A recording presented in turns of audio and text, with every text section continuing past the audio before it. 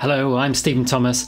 I'm a podiatrist, which is a foot and ankle specialist, and I'm based in Harley Street in London. Plantar fasciitis is the number one heel pain condition, and in this video, I'm going to show you four treatment options to solve this. If you want to know more about plantar fasciitis, you can watch this on my other video. So if you want to know the best treatment options for this condition, keep watching. I will go through the four best treatments and then at the end give you some tips to help you maximize your chances of recovery. So from underneath the foot, the fascia inserts at the heel here, then travels up and fans out and inserts underneath each one of those joints.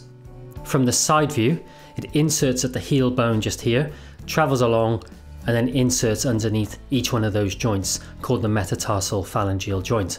And as the arch of the foot comes down, you'll see the distance between the heel and the forefoot increases in length. And of course, this is what's putting a load on the fascia. So let's get to the treatments. So the principles for the treatment options can be placed into three main categories. Number one, reducing the load on the fascia. Number two, reducing the symptoms. And number three, encouraging and promoting healing. So the first treatment, which is the easiest treatment that you can do right now, are stretches. The two stretches that you can do, one is the calf stretches and two plantar fascia stretches.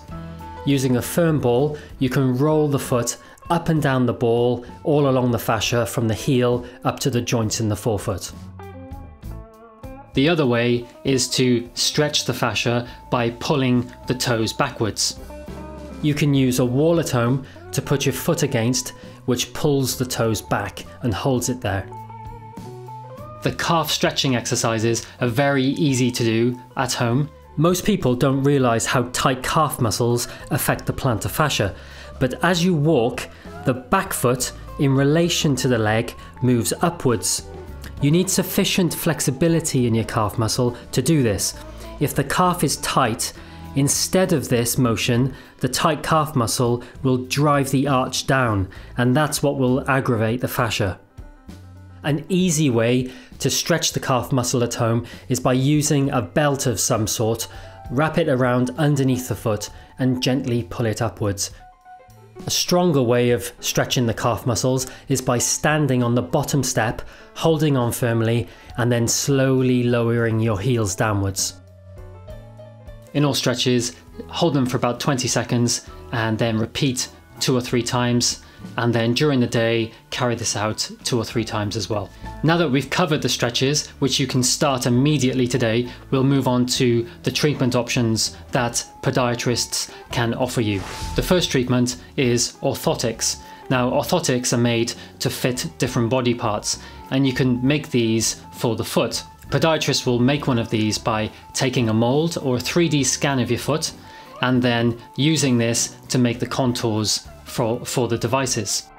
They can be made for different conditions and made with different materials and different shapes and sizes to fit different shoes. The way they work for the plantar fasciitis is it decelerates the speed and the amount at which the arch lowers down and this in turn reduces the load on the fascia with each step.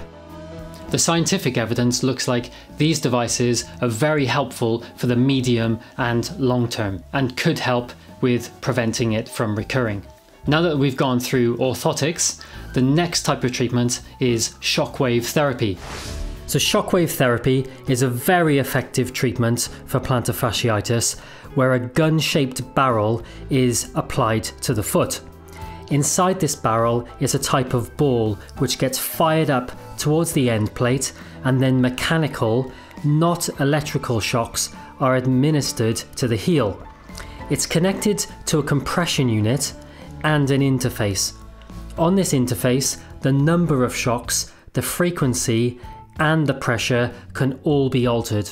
This increases blood flow and inflammation, And the way this works is if you increase the blood flow to the area, you will speed up the healing time. The typical treatment plan is one session a week for three weeks. Scientific studies show that about 85% of people with plantar fasciitis rate this treatment as excellent. You should stop any anti inflammatory medication before commencing this type of treatment, so medications such as ibuprofen. You should also avoid this treatment if you're taking any anticoagulants or blood thinning medications. Coming up next, I'm going to show you the fourth treatment for treating plantar fasciitis, and then I'm going to show you and share some tips that can help you maximize your chances of recovery. But before we get to the fourth treatment, please remember to give this video a thumbs up.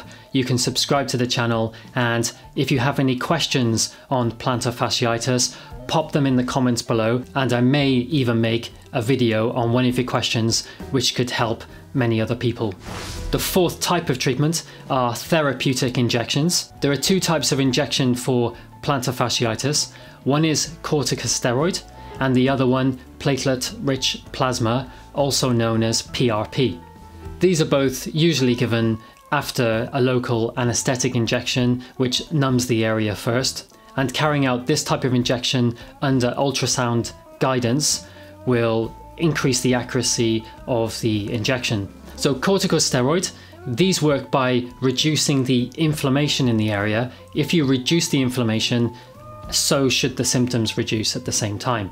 The scientific data shows that these can be very good short term, but are not so good for the medium and long term. There's also a very small risk of rupture associated with steroid injections, so following this type of procedure, you would normally wear a walking boot and some crutches for about one week. PRP is a new type of regenerative medicine and is obtained by taking a blood sample from your arm usually and then this blood sample is put into, into a machine where it undergoes centrifugation. This separates the red blood cells to one side and then you're left with the plasma and the platelets which contain the growth factors. The PRP is then injected into the injured site, flooding it with your body's own natural healing cells. Some scientific papers are indicating that this is more effective than uh, corticosteroid. In my personal experience, I've found that these are more effective with plantar fascias that are extremely thick and have some tears. So let's get to some tips to help you maximize your chances of recovery. If you think about the principles behind the treatments of this condition, you'll want to reduce the load on the fascia. You'll want to also try to encourage healing and reducing any of the symptoms. You'll want to stop any high impact activities, so no running or jumping exercises. Use orthotic devices in a good running shoe, maybe a combination of the stretches, orthotics, and potentially some shockwave therapy might be a, a, very good start. And you can visit your local podiatrist who can give you a more personalized and tailored treatment plan. I hope that video was helpful. Remember to give the video a thumbs up, pop any comments or questions you have down in the comments, and I will see you soon. Thank you.